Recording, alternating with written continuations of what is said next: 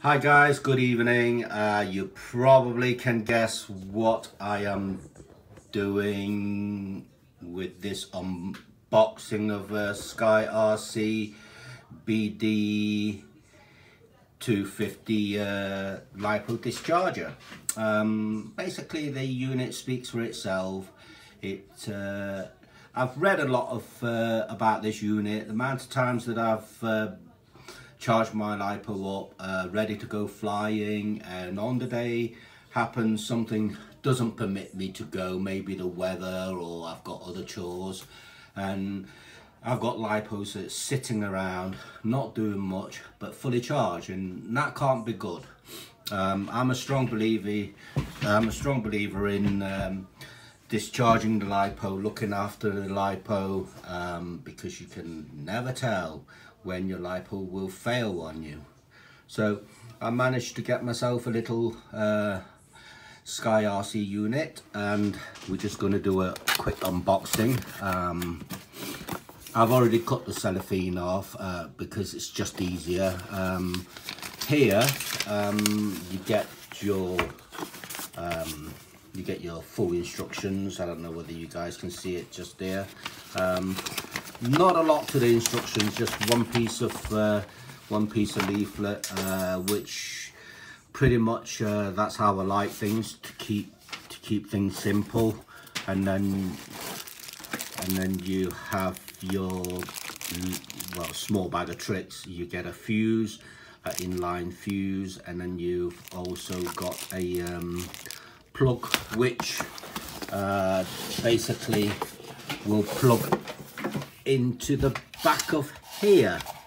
Um, and then you can connect the other end maybe to a XT, 90 or a Dean's connector and then drain your drain your battery that way.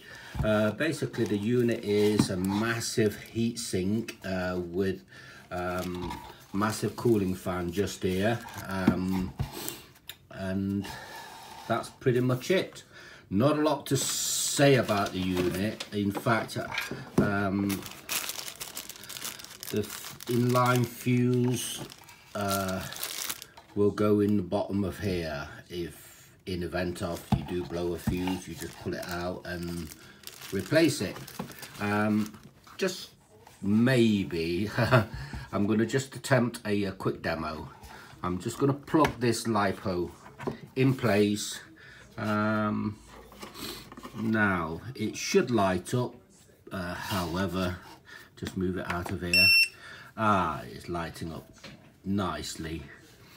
Um, basically, you just, uh, this is a four cell pack. Uh, you uh, basically times it to whatever cell uh, if you want each cell to be 3.8 you times that by 4 and then you set this unit here to that number and then you basically press start and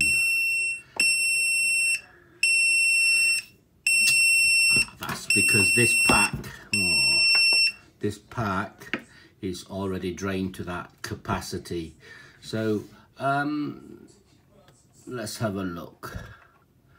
Maybe I can get another pack in place. Um, let's have a look. Okay, just unplug this pack.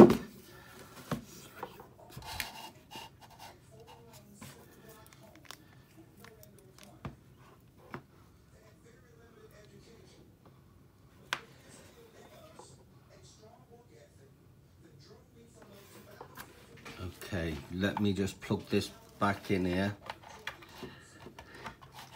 Okay, press this button. Okay,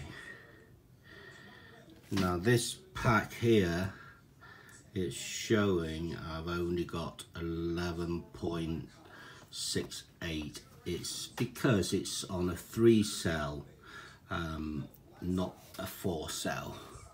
And let's have a look this is the as you can see as I'm turning the dial it's basically telling me what amperage that I'm discharging at. So therefore now that um, I will be, I'm just going to set this to 1 amp.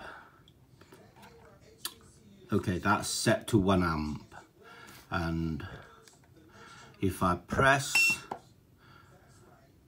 and then that one there flashes up, I can adjust that accordingly to whatever amperage I want that to be at as you can see guys. Um, and then if I press that again there you go. It's start it's starting to discharge now. As you can see it's ramping up the amperage and it's uh, discharging as such. Um, pretty much it. This uh, this this discharger and when you've done just unplug it and back to storage. And hope you guys enjoy this video and if you like please give me the thumbs up and subscribe. Thank you very much